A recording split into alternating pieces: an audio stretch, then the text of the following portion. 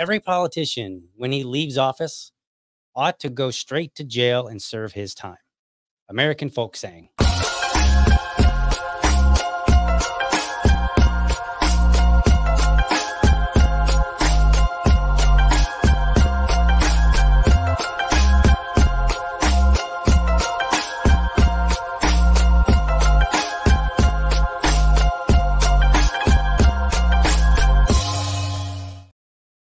All right. Welcome to another episode of Liberty Dad Podcast, a discussion on politics and culture. This episode is pre recorded to accommodate schedules between Mrs. Kolenich and I. Nevertheless, if you're watching, then I appreciate you tuning in. It's election season and time to get back into candidate interviews. Thursdays are the designated day. My goal interview as many candidates as I can for any seat in any state. I'll do my best to have as many live as possible at 7 a.m. Eastern, but sometimes that's just a little too early for some. And so we have to pre record them. With that said, let's bring Erika on. Erika, how are you? I'm great. How are you? Very well. Thank you for joining me.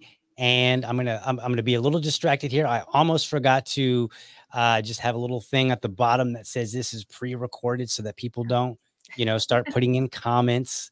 Uh, so let me let me get that punched out really quickly here. All right, there we go. So so now people know, like if they put in a comment, we won't be responding to them. so let's get right into this. So you're out of West Virginia. So go ahead and introduce yourself. Sure. Well, my name is Erika Kolenich. I am the Libertarian candidate for governor here in West Virginia in 2024. I am a lawyer, an entrepreneur, a mom, a wife, and just a West Virginia gal who wants to see change here in West Virginia. This is my second time running. Mm-hmm. I ran in 2020. It was my first time running in 2020. I went big the first time. I ran for governor the first time I've ever run for anything. It's the ballot access race for the Libertarian Party. But, you know, separate and apart from that, it's the one chance I think I have to educate West Virginians about liberty and really make a change here in West Virginia. So that's what I'm doing. So when you say so last time you, you ran for the first time and then you're running again, yeah. What really got you motivated to say, not only am I going to run, but I'm going to run for governor? Sure. um, I guess right place, right time, or wrong place, right time, as it were. you know, I, in West Virginia, we're always at the top of all, all the bad lists and the bottom of all the good lists and everybody always knows that you know from west virginia we just we just take that on the cheek and we always roll with it and it's kind of something you know we west virginians joke about is you know everybody always makes fun of west virginia but west virginia is a place that really has heart but everybody mm-hmm. leaves and that's something that's always kind of got to me you know all my friends leave and i wanted to run for an office if if if i was going to jump into politics and maybe we'll talk about this later but politics is awful it's terrifying i don't love it it's not mm-hmm. where the person that i naturally am pulls toward but mm-hmm. if i was going to jump into politics i wanted to do something where i really felt like i could change the state and change this narrative that people in West Virginia have to leave. And I was one of those people. I always, you know, tell people when I grew up, my mom raised me on a bartender salary. Mm-hmm. And I never associated poverty with lack of hard work because my mom worked very, very hard. Right. So I associated poverty with West Virginia. Okay. And I think a lot of people do. And we're taught as kids here in, in this state, and, you know, certainly with my generation, and still that success is leaving. Mm. And mm-hmm. we have this massive exodus of youth from our state. And you start to see how that affects the economy and then how that affects people who stay here. And I thought, this is something I really have a passion for. I really want to change. And the only way that I can really effectuate change in that is by being governor of this state And if I'm not going to be governor of this state, I mean, my goal is always to win. But if I'm not going to win, then I'm going to spread the message through West Virginia that it doesn't have to be this way. There mm-hmm. are other options. And, you know, poverty poverty isn't because of lack of hard work and you don't have to leave West Virginia to find success. Gotcha. So when you mentioned you mentioned a moment ago that well actually let me back up. Sure. Because you said that a, a, lot of people leave West Virginia. Yeah. Do you find that as they get older, they ever come back, or is it like once they're gone, bye? Some people come back, but mm-hmm. not enough people come back. Okay. You know, we have a we have a dying population in West Virginia, and there there are occasionally people will come back. We've actually had some success with COVID. Mm-hmm. You know, once one good thing that came out of COVID, and I don't give it credit for much, but right. one of the good things that did come is we realized people can work from anywhere. You know, companies realized that remote work is a possibility. We changed that a little bit in the mindset of companies and corporations. And West Virginia and all it has to offer in terms of its landscapes you know it, it's beautiful outdoors type activities people have really started to move into the state. And some of those are people that have left but not at the speed that they need to. You know i left for a little bit not not a long time you know 4 or 5 years. So some people do come back. Not enough not a lot. Gotcha. And then i have a question about your ballot access. Yeah. Um what because I know that states have different issues with ballot access. So, mm-hmm. what are the challenges that the Libertarian Party faces in West Virginia when it comes to ballot? Because you said you're running partially to help with the ballot access. Correct. Um, you know, I feel like we have it pretty bad, but then I talk to people from other states and I realize we have it really good. We just have to get 1% in the mm-hmm. gubernatorial mm-hmm. election. We have maintained ballot access consistently since uh, 2012. 2012, the Libertarian Party did a petitioning effort. Uh, David Moran ran for governor. He mm-hmm. got ballot access. He got the 1% when he petitioned to get on the ballot in 12. He maintained it in 2016. When I ran in 2020, you know, I got more than the 1%. So we we've done pretty well. We actually have almost 1% of registered voters in West Virginia. So we're we're, we're doing pretty well.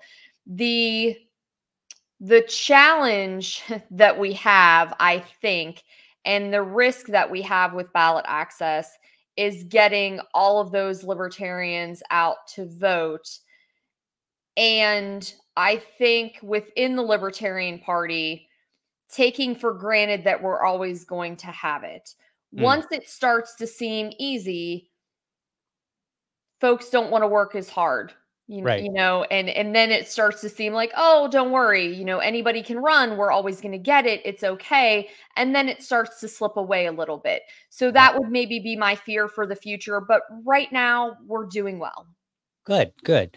Um, yes, and one percent is actually like, I mean, it's still a challenge yes. because you have to get. Now, is that one percent uh, governor or any state level?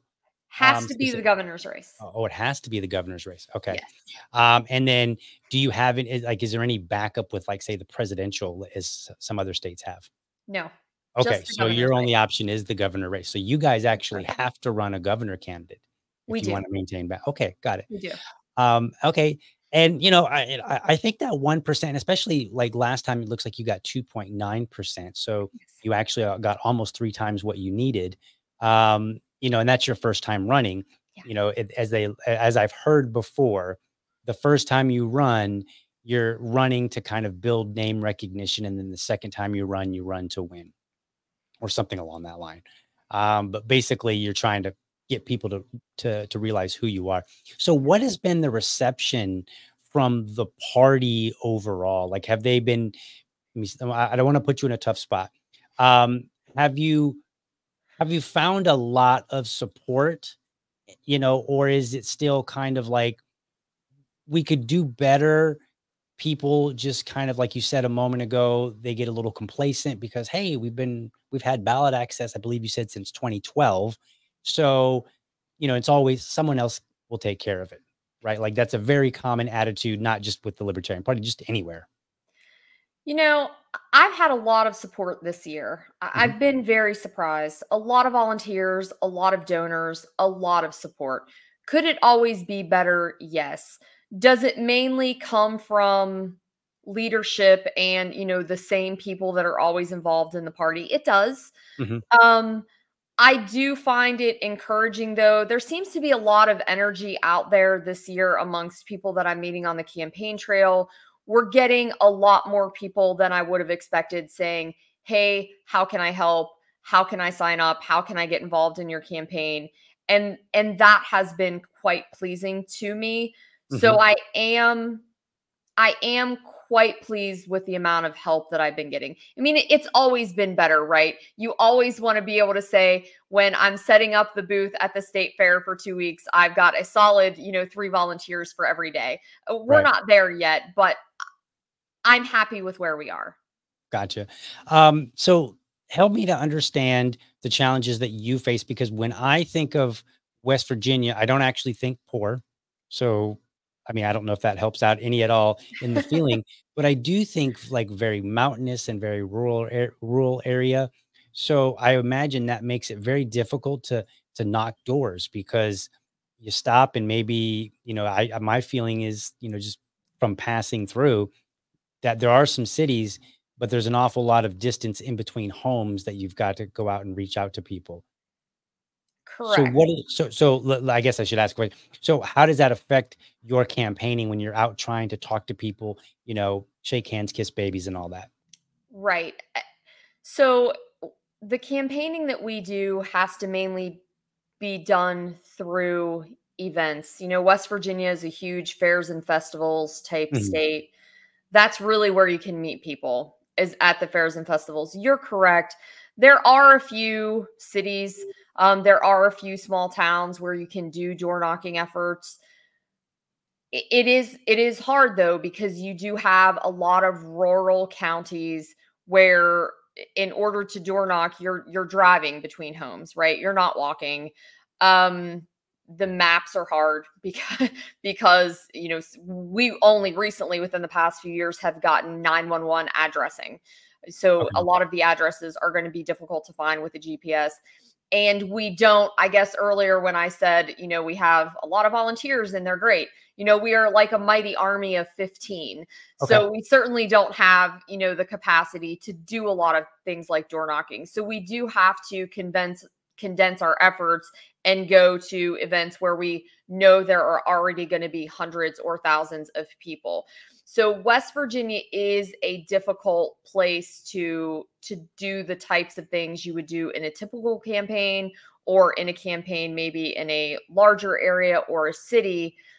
And then the the thing that makes it maybe even more difficult is you know i know that the you know the democrats and republicans always spend a lot of money. There's an astronomical amount of money in west virginia spent in campaigns Mhm. given the size of our state it's i mean the amount of money that political action committees industries like you know coal is very big in west virginia Mhm. the amount of money that they spend dumping into the election is is insane. Now, I will say the benefit that I've had is that the once the Republican primary was over, the Republicans stopped running. The Democrat has never really started. So I'm really the only person out there campaigning. So that that has actually been a benefit to me when we're out at these fairs and festivals and events. I'm the only candidate who's there. Gotcha. So I will take that as a positive. Okay. And what's the reception like from people like when they're when they're meeting a libertarian maybe for the the second or third or whatever time or maybe even the first time and you're telling them about, you know, because I'm sure they ask you like oh, what's a libertarian? Mhm. You know, what are you going to do for me? Those kind of questions. What's their reception like when you talk to them? It's been very, very good. And and I'm not just saying that. I'm Right. not just saying that to be, you know, hey, things are all sunshine, sunshine and rainbows out there. It's been amazing. Mhm. You know, when I campaigned in 2020, I mean, West Virginia is a very red state. It is it's definitely you know trump territory mm-hmm. and when i campaigned in 2020 i would often you know be out there and people would just i mean they were nasty right? They would just scream trump at me. Um it wouldn't even listen to what i would say. They're just like right. trump you know in my face.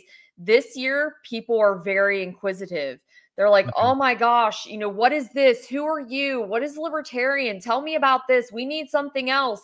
And they will listen.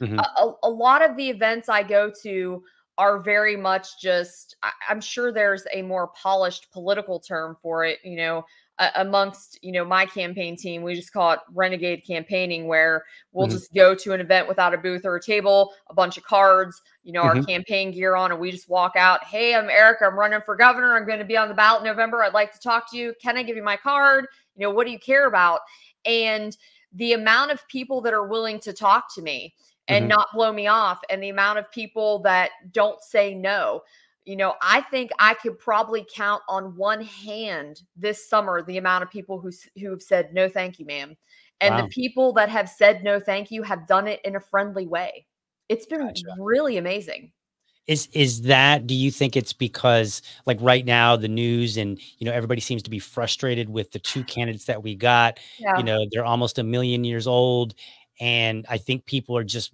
worn out with both of them on many levels. Is that contributing to the the better reception this time around? I, I think it has to be. I think it has to be, and that that is carrying over to you know into West Virginia.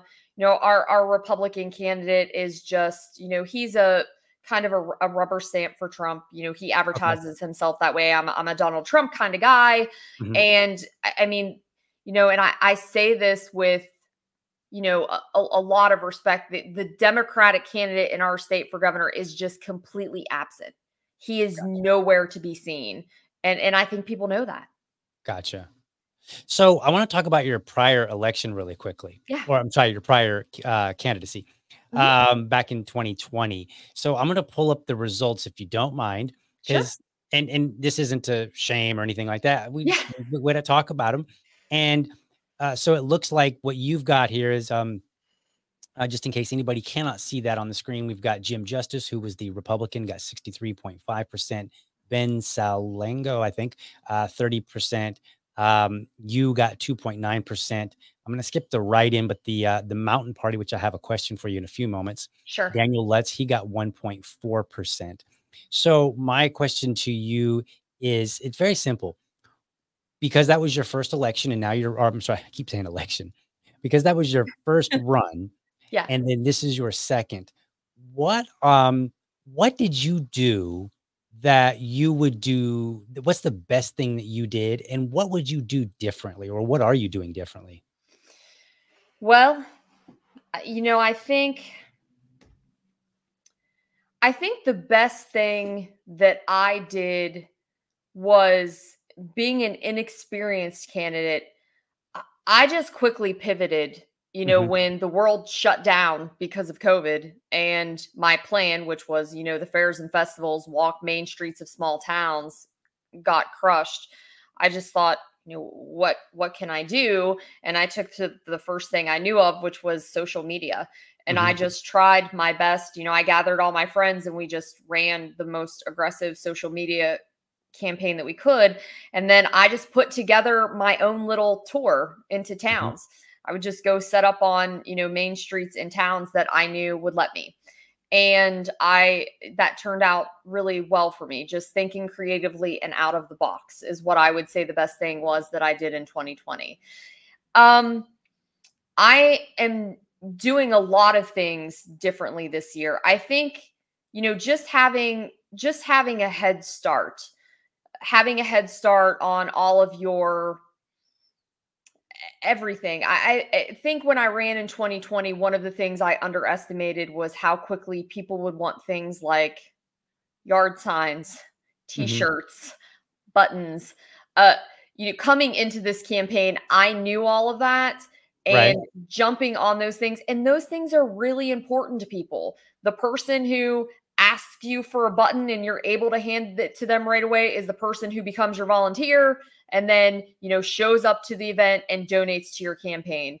Right. I think the other thing that I've done this year is I pretty aggressively started fundraising right from the get go. And, okay. and I did okay with fundraising the first time. Um, you know, but better than I think some candidates do. But I started aggressively fundraising um, straight, you know, straight from the time that I planned on running this time. And I think I was a new libertarian when I ran in 2020. Mm-hmm. And I don't want to say that my message was watered down, but mm-hmm. I was probably more scared mm-hmm. about talking to people about liberty and what that meant than okay. I am now. Gotcha. And I think it probably took me until, you know, maybe October the last time before I was really in my stride of mm-hmm. saying, you know, no, I mean legalize all drugs, including heroin. That's exactly what I mean. It okay. just took me, it took me a little bit to, you know, be able to talk that aggressively. And this time gotcha. I've been able to talk that way from day one. Okay, awesome. That's you know, I think that's good. I and I I like to hear you know, and hopefully other people do. I like to hear stories where people are like, "Hey, look, you know, I learned this and I grew I grew and I'm ready to come back and hit it harder, right? Because yeah. I think the Libertarian Party they really need people that uh, that take a moment for introspection and just say, okay, what did I do wrong or not so well? What did I do that was great? And you know, let me let me utilize this experience so that next time around, instead of two point, what was it two? I think it was two point nine percent. You know, maybe it's you know four or five percent right? And then yeah. really set that bar high. Um, plus, I mean, we all love that kind of story, right? We we would love to see the numbers double. So I think uh, you know, um, good good for you, good on you. Um, so you were talking a moment ago about all the money that's um that's in that that the Republicans and the Democrats, and boy, you are not lying. So here is here's what we have. Um, I did my research, by the way. Oh, um, so these are your these are your uh, these are your opponents right now, at least the ones that are listed on Ballotpedia. Um, and this looks like the major parties. So correct me if I made any mistakes here. Um, but it looks like the Democrat uh, has raised thirty-one thousand, according to uh, the, the the state of, you know, according to the most current receipts. Uh, the Republican Patrick Morrisey, three million dollars, three and a half million dollars. Um, you have 11,000 and then comparable actually to the mountain party, which was 10,000, uh, 10 and a half thousand. So I'm curious. Uh, I've got a couple of questions based on this. Um, usually, this is the first time that I've seen a, a libertarian uh, candidate compared to another third party that eh, that appears equivalent at least in the fundraising and and that it's kind of up there. I mean, if if you see like two third party candidates and they have a thousand dollars each, like okay, I got it. But like ten and eleven, I, I was that really caught my attention. Is the Mountain Party comparable, or they just or did they just happen to raise a fair amount of money? Oh, that's a good question, sir. Uh, Eh, I would say they just happened to raise a comparable amount of money. So the okay. the Mountain Party is West Virginia's equivalent of the Green Party.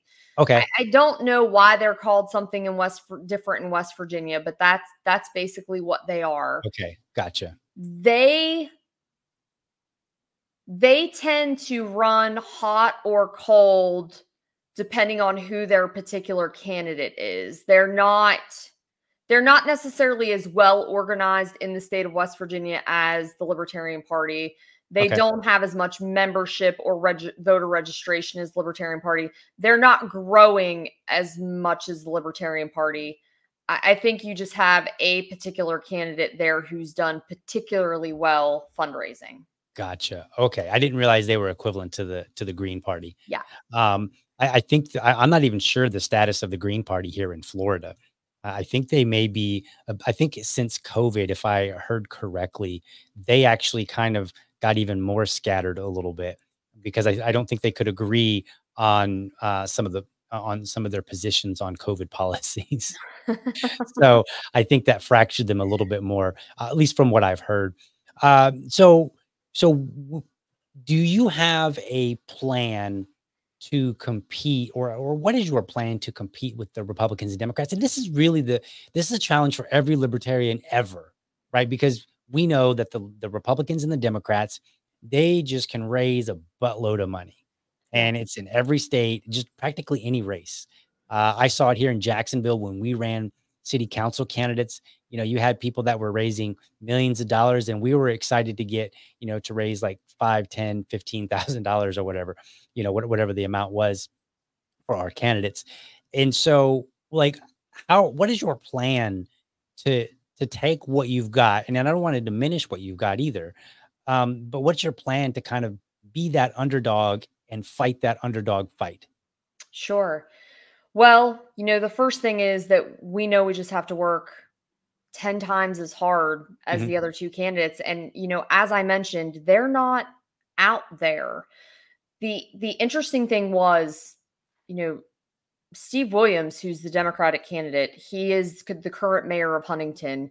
Mm-hmm. The largest city in West Virginia is Charleston. Okay. They held a pride event.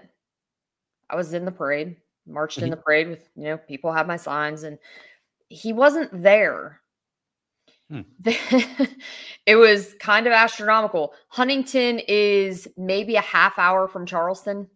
Everybody I met that day, I gave out probably over a thousand, over a thousand, you know, cards and, you know, little packets of information. Everybody that I met there said, You will now have my vote because the Democratic candidate didn't care enough to show up. Good.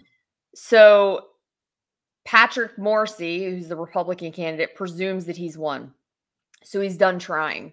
He's okay. not coming out to meet people, even though he only got slightly um I forget exactly what his percentage was in the Republican primary, but not enough that you should presume that all those Republicans who voted against you are mm-hmm. about to come vote for you. Like I, I certainly wouldn't be doing that. Mm-hmm. Um, so I, I think he's going to drop the ball, and there's a lot at play there. And West Virginia is becoming, you know, the the people that are registering as nonpartisan or independent is growing. Mm-hmm. The Democratic Party is falling, especially with Joe Manchin, you know, our West Virginia senator switching to independent. And, you know, we actually believe that we have a chance to do significantly better mm-hmm. um, or at least equal to the Democrats based on the shift of what's happening in terms of the voter registration. So there was a poll out recently, actually by a a local newspaper that talked about, you know, there's some, I'm not sure if you've heard this, but there's some buzz about whether or not Joe Manchin will enter the West Virginia governor's race as an independent. Okay. Because he he has one more term that he could be governor and he ironically switched to independent the, the last day that you would have to switch to independent to be able to run. Okay. Um, as an independent. So everybody's been running polls. There's been polling like, what would you, you know, if Joe Manchin gets in the race, who are you voting for? And mm-hmm. I polled just 1% under Patrick Morrisey. And Joe Manchin got 19%. Patrick Morrisey got 34 eh, or 35, and I got 34. And the Democratic candidate was like at 11. So gotcha the Democratic Party's dead. And I now think, you know, I'm competing for that, you know, 20% that's clearly a strong independent streak in mm-hmm. West Virginia. So I think I just have to work hard to go out, find those people, message to them, and meet them. You know, mm-hmm. so many people are excited when they meet me out there. And, and I think that that's what it's going to take is actual face-to-face meetings, mm-hmm. campaigning mm-hmm. old-fashioned style because so many people now they they raise that money that you were talking about, right? And so then they just throw it into TV ads.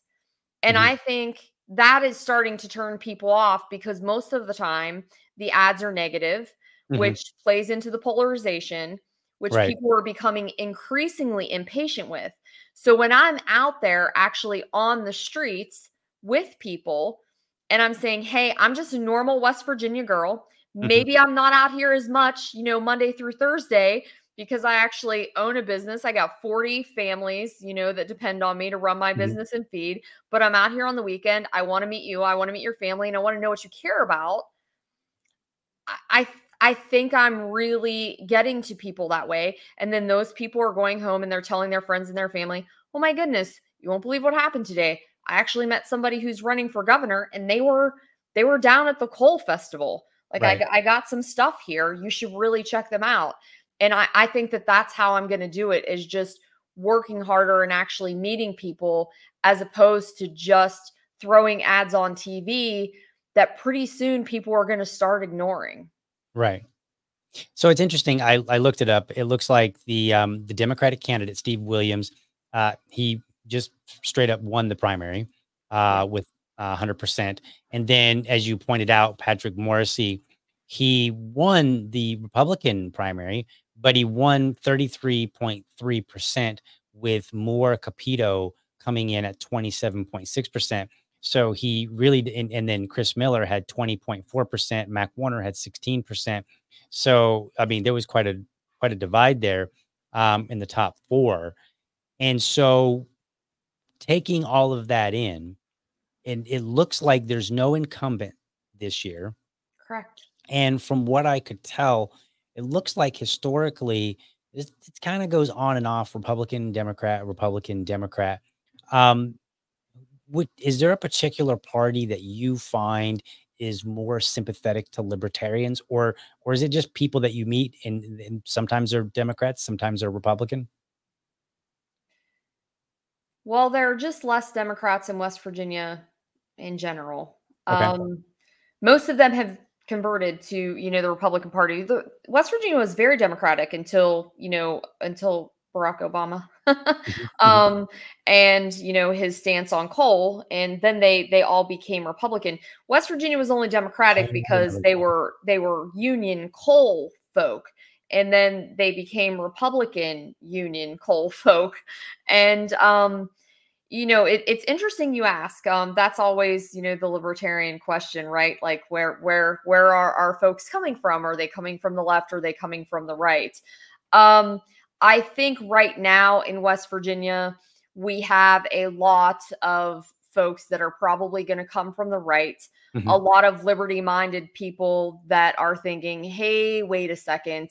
You know, West Virginia had been run by the Democrats forever, and now we have a Republican supermajority, and they were supposed to cut the taxes. Mhm. They were supposed to give us a little bit of freedom they were supposed to cut the governor's emergency powers after you know he did all these you know lockdowns because of covid we were supposed to get some sort of you know shift toward liberty and freedom with a republican supermajority and none of that happened we're basically still the same state that we were under democratic leadership i think that that's probably where a lot of a, a lot of my support is going to come from Gotcha. And you mentioned Obama. Remind me, was West Virginia the cling to guns and and and and God comment? Was was that the state that he said that about? i don't know I, I know he said it, and it was you know I mean it's it was like what 2008 something like that. So it's quite a while ago, but I know that he said that, and I want to say it was I want to say it was West Virginia, but I just can't remember. I remember there was a huge kerfluffle. Uh, I'm just gonna I, I can't help but look it up while we're talking here. So I wonder if it was that would be uh, interesting uh, let's just let's just take a um, cling to guns and God, I believe it was. So let's see what let's see what we got here. Um, let's see, where was he? Angers Midwest voters with guns and religion. Oh, he said guns and religion. So let's see here. Ah, ads all over. Um, okay, so let's see. Obama was caught in an uncharacteristic moment of loose language, referring to working class voters in old industrial towns decimated decimated by job losses. He said they get bitter, they cling to guns or religion or antith- antipathy to people who aren't like them or anti-immigrant sentiment, anti-trade sentiment as a way to explain their frustrations. But I'm not seeing, let's see here. Um, I don't see where it was. I just see that they're referencing how people in other states took it. So I guess it wasn't. I guess it wasn't in West Virginia. Okay. I, I think he just said it in general about middle class Okay. Americans, um, and more specifically rural Americans. So that's what made me think it might have been West Virginia, but it's been a while. Okay, let's let's talk about your issues. So you know, um, what are the issues? What are the when you're talking to people? What and you're saying, hey, what are the issues that you care about? What are they telling you? People care a lot in West Virginia about children. Okay. And and that makes sense, right? Because we're mm-hmm. talking about kids that grow up and leave the state. And so what we have going on in West Virginia with kids is is really is twofold, education and foster care. We have a Okay. big foster care crisis in West Virginia. So believe it or not, 60% of kids in West Virginia are being raised by somebody other than their biological parents. 60%. So Wow. whether or not that's, you know, aunt, uncle, family members, uh, foster care. You mean um, other than both of their biological parents, correct? No, Or I don't. oh, I okay. mean someone other than their any, either of their biological parents. Oh, okay. So it could be like their mom and then a stepdad or something like that No, what you're saying? Oh, you you mean no mom, not their biological mom, not their biological dad, somebody else outside of that. Okay. somebody else. Wow. So grandparents, aunt, uncle, foster care, cousin, older sister that got Mhm. custody of them. I mean, they don't have biological mom or biological dad raising them. What is the Sixty cause? What's what's the cause? Do you I mean, is it like I, I- I can't even begin to guess. Substance abuse Okay. and an over eager state that removes children based on substance abuse. Okay.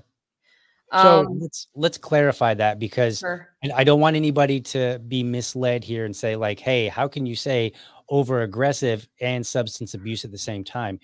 Um, so I assume that when you say a substance abuse, you're talking anything from a single marijuana joint or something like that to like maybe heroin or something, you know, much stronger, correct? Anything, I'm- any of that? I'm talking about all things. Okay. I'm talking about, you know, CPS. Um, first of all, let me say this, you know, CPS in West Virginia, I think most 90% of the CPS workers do their best. However, they don't have good guidance. They're undertrained, they're overworked. It's just a bad, bad thing.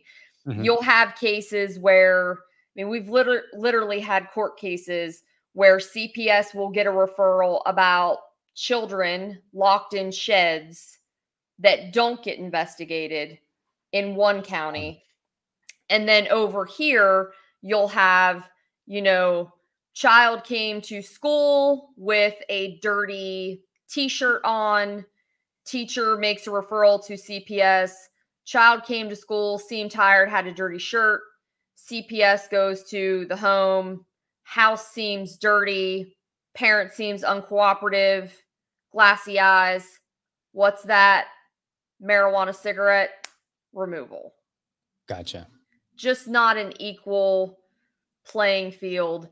And then the rules kind of surrounding what what happens once the kids get removed very arbitrary time frames Mhm. um you know i, I don't want to go down a rabbit hole just to say that it's it it's very hard to get your kids back once they're removed unless you do 100% what the state wants you to.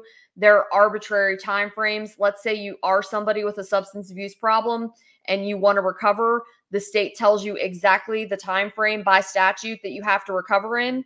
And if your recovery is not on that time frame your Mhm. kids are your rights to your kids are permanently terminated. It, it's just a system that needs a lot of work.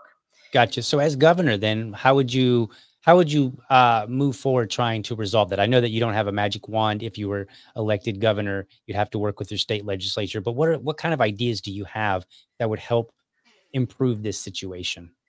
Well, I, I think the first thing is that probably need to just clarify what a, what abuse and neglect is. Mhm. If it's severe enough that your kids need removed in 90% of situations, you should probably be in jail. I mean, Okay. that that should probably be, you know, that is a child abuse or neglect situation where you should probably be in jail. If you don't need to be in jail, then probably your children don't need to be removed and maybe there just needs to be more institutions of safety plans. Most of these cases, there are grandparents, by the way, that the kids end up with, that the grandparents, if CPS asked, would step in and say, Hey, yes, I'll make sure the child's clean. I'll make sure the child gets to school until, you know, dad can go to rehab or get himself clean. Um, many times, the, you know, the person who had the marijuana cigarette is somebody who's going to work. House was fine. Maybe the kid just had a stained up t shirt he wanted to wear that day to school. So mm-hmm. there's also an issue that CPS maybe has too much latitude. And a lot of the judges in West Virginia are just removing the children. So I would, again, I'm only the governor. I can't force the legislature to Right. do anything, but I would strongly encourage the legislature to talk to the guardian ad litems and the people that are on the ground, the attorneys that are involved in these cases, and rewrite the abuse and neglect code so that there's not so much authority placed within CPS to arbitrarily remove children and make decisions on behalf of these families. Gotcha. You ready for the tough question then? Yeah. All right, let's do it. Um, on that same note, libertarians, we believe in decriminalizing drugs. Yeah. Uh, most of us, uh, all drugs, every Mhm. single one of them. So now you just said that, hey, there is on some level a drug problem in the state of West Virginia. Um, and sometimes it's a problem in quotations, right? Like, okay, somebody's smoking some marijuana, but they're otherwise a good citizen and they're not causing any problems and they generally take care of their kid pretty well. So it's not really an issue. But then you may have somebody who's using some harder drugs and, you know, they, they def there's definitely a problem there. So, what is your message in general as a governor candidate to say, uh, you know, regarding drugs and regarding the libertarian position when you have, because when people hear 60%, I'm willing to bet that most people don't go, yeah, I bet a lot of those are probably not legit. I mean, maybe they do, but I, I tend to think that when people just hear a number like that, they think, wow, it's bad. Mhm. And when and 60% doesn't sound like it's time to decriminalize drugs. That just doesn't. So, what's your message to to to folks that may be concerned that it would make the problem worse? Well, when we focus on punishing people who are addicts Mhm. as opposed to focusing on ways to allow them to recover, Mhm. we it's dangerous because we distract ourselves from the real issue, which is why are people in West Virginia addicts? And we don't get to have those conversations.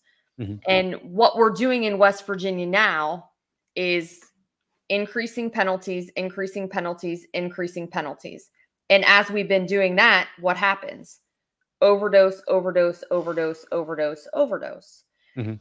And I I had this conversation with somebody on Saturday that during the era of prohibition,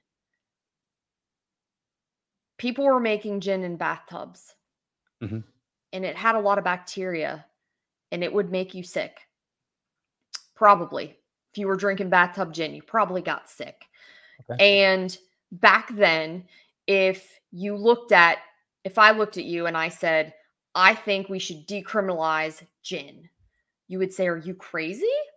And if I said to you, I bet if we did, companies would just make gin and it would be safe and you could just get it down at the corner store and like guys would just drink it after work and go to work next day and take Mhm. care of their kids. Right. You would think I was a monster. And you might feel that same way now if I'm telling you that meth was the same way. Mhm. If we decriminalize meth and you picked it up at Walmart on your way home, it would be a lot safer. It Right. wouldn't have the stuff in it that made it as addictive, but would still make it maybe fun. And Mhm. people would use it and they would get up and go to work next day and take care of their kids.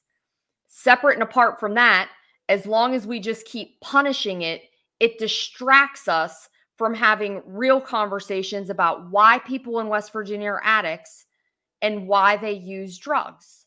Mm-hmm. And we're never going to be able to get to those conversations while we're busy picking people up and throwing them in jail, which, by the way, people in West Virginia are dying right now in the jails.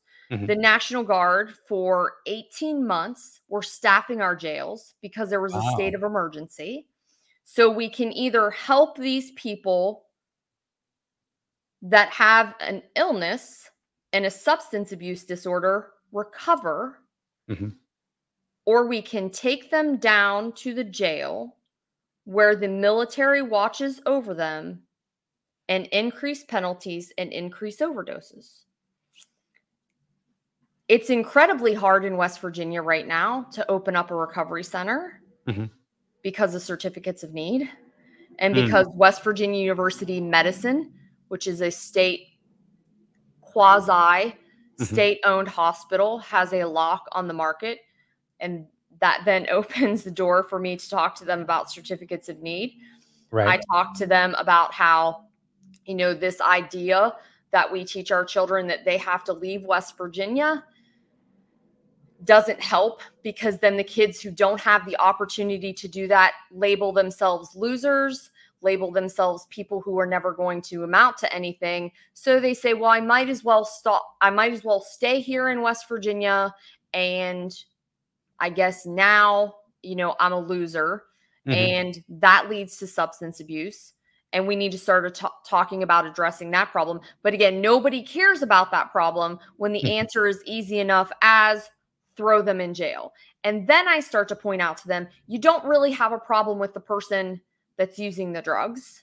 Right. You have a problem with the fact that that person is stealing the bike out of your backyard, and that's a crime. So the mm-hmm. person mm-hmm. should be in jail for that. You have a problem with the fact that that person is uh, abusing or neglecting their child, mm-hmm. which leads me to talk about this. What if drug use was like alcoholism. If you went to your boss and you said, I need to tell you something. I've been drinking too much at night and on the weekends, mm-hmm. and I need to apply for short term disability or leave because I'm going to go to rehab. Your boss would say, Oh my gosh, you're good for you, man good right. for you for realizing that you've been drinking. And yeah, like here's the paperwork. Good luck. Mm-hmm. Good luck. But because we label it a crime, if you go to your boss and say, I need to talk to you, I've been using too much heroin, it's it's going to be a different conversation. You're right. not going to get a pat on the back and you're not going to say, call me when you're out. So people use it in the darkness, which is what results in them not keeping a job, not coming forward, not asking for help, which is why that child ends up being raised by their grandparents and being neglected because mm-hmm. that person can't be honest with anybody about the problem that they're having. And as long as we continue to make it a crime, and as long as we continue not talking about what's causing the problems as a society, it's a it's very very dangerous. That was an impressive answer. I'm not going to lie. And, and and and I and I say that very honestly because earlier you'd mentioned, hey, when I first ran, um, you know, it kind of taught me to be bold and unafraid to, uh, you know, to talk to people. And you, you kind of, you said you kind of watered down the message in a sense, you know, more out of fear than anything. And I remember a long time ago being the same way when it came to drugs, right? Like it was just like, like marijuana, that was pretty easy. Most of my friends could get on board with that. But then they would be like, but even heroin? And I'm like, you know, but now, and, and, I'll, and I'll add just a very small addition to what you said eh, to complement what you said. If somebody were to go to the store after work and pick up their meth or whatever, um, like alcohol, you know, when I go when I go and buy a bottle of wine, it tells me what percentage of alcohol is in it, so I have an idea, mm-hmm. and I know that that percentage is pretty accurate. And I also know that since I'm buying it from a formal store, if it's tainted with something, I have recourse. I can go and say, Hey, you sold me this bottle of wine and it was contaminated with something. You owe me for all my medical bills, right? And so I have recourse for that. Whereas right now, while it's in the dark, if somebody sells somebody even marijuana that's laced, and you know maybe the you know there's some, it's laced with something and it, you know really harms them there's no recourse because you can't go and to the judge and say hey this guy illegally sold me a drug right. and it harmed me and it wasn't supposed to because it was supposed to be just an afternoon of relaxation for myself right? And so i think that's i you know just to complement your message i think people don't realize what the difference would really be if it was in the store on the shelf we know when we go get aspirin how much of you know how much is in you know how much of the uh, the active drug is in the aspirin um, same for all the other drugs. And we have recourse you know so i think it's i think it was a really good analogy also to point out the um the bathtub where there was bacteria because i wouldn't have really thought of that um but but it's it's a great point like hey it's clean now. You're Mhm. not going to get regular sick and you're not going to get really really sick either so I, I do I, I commend you. That was that was a really phenomenal answer. Um, not that I wasn't expecting it. It just uh, you know, it, it really caught me off guard because I haven't heard anybody really lay it out that simple and easy to understand. And so I really, really like that answer. Um. I know we're getting close to time and I want to respect uh, you know, your evening. Um, so let's end on the most positive note that we possibly can what has you the most excited about this race this year? I think what has me the most excited is is really the possibility and the energy. Mhm. Like I said, I I wouldn't have imagined. You know, when I agreed to run, I- I'll be honest, it was it was obligation, right? Uh, okay. Right. okay. It's it's the ballot access race. I'm a Mhm. libertarian. It's important. Somebody's got to do it. I'm going to step up Right. but the the energy and the reception that i'm getting out there is is just incredible and i feel like you know even even if i don't get to where i want to be even if we don't you know win even if we don't hit the numbers that we want Mhm. to i know that i'm making connections with people I know, you know, I make sure that in addition to my campaign materials, I'm carrying around the what is a libertarian card. And I Mhm. know how many of those I'm giving out. And I know that people are asking for them.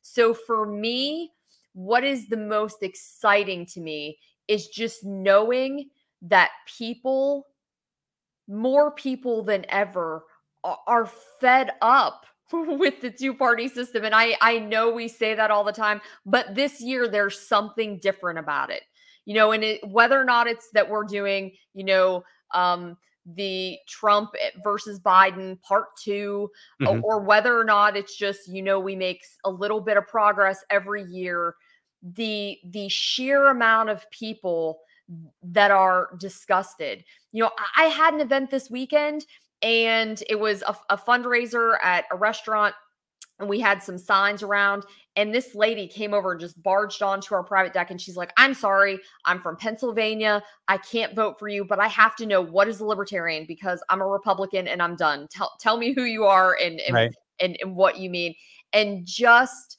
that excitement that i'm seeing from people and the amount of people that are saying thank you for giving me a third option. Thank you for bringing some sanity to the process. Thank you for bringing you know some some standards to the people that are running for office. I'm just so excited this year that people are open and receptive to a third party and that people are as excited about a third party and a third option as i am. So i'm just you know i don't know what's going to happen but I'm, I'm really excited to see and i think it's going to be great i think we're going to do really well Awesome. Looking forward to seeing those results. Uh, so, final words for you if you want, and then let people know how they can find you, how they can help you. Uh, we've got it scrolling at the get my finger in the right spot here at the bottom. Uh, uh, I, I should have separated it better, but Kolenich for WV.com. So go there. But how else can people find you, follow you, support your campaign? Sure. So I am on all of the social media platforms other than TikTok. I'm not that advanced yet. Mm-hmm. Um, me, so if you're if you're a TikToker and you want to help me with my campaign, you could reach out to me because I could use somebody to run TikTok. But I have a Facebook page. It's mm-hmm. Erika Kolenich for Libertarian um, or Libertarian for Governor of West Virginia. Mm-hmm. And you can find me there. I'm on Instagram at Erika Kolenich. I'm also on X at Erika Kolenich. Um, so you can find me on any of those things. And I always tell everybody the reason I just go by my first name is um, on my logo. If you see it, is because my last name is really, really tricky. It's K mm-hmm. O L E N I C H. And if you just type in Google Erika, Governor, West Virginia, all of my stuff comes up. So you can find awesome. me there. So you can message me. My email is E R I K A um, at kolenich4wv.com. Um, I can use help in all kinds of ways. You know, people can donate to my campaign. You know, I'm one of those people. Even $5 helps me out. If you have more, that's great. I can use help from afar you know, texting, calling. So if you like to do those types of things, social mm-hmm. media help, I can use all of those things. And sometimes just a, a kind word is also nice. So if you see what I'm doing or you see a video that you like, you know, just the hey, thanks, that a that a kid, go get them is is nice right. as well. Awesome. Well, um, if you will, just hang backstage really quickly while I close the show out. Um, and I will make sure to add all of those links in the show notes, people, so you can see those. So hold tight for just a moment, Erika. Folks, thank you for watching. I hope you enjoyed this episode. I hope you found it informative and inspiring. I want you to be sure to catch me Monday through Friday, 7 a.m. Eastern, for an informed discussion on politics and culture. Make sure that you are following my YouTube channel, or if you prefer my Rumble channel, you can go to youtube.libertydad.com or rumble.libertydad.com. While you're there, let me know how I'm doing by leaving me a comment. Last but not least, if you're a champion of liberty, your business is people and your product is liberty. Want you to have a great week, a great 4th of July. But for now, I'm out.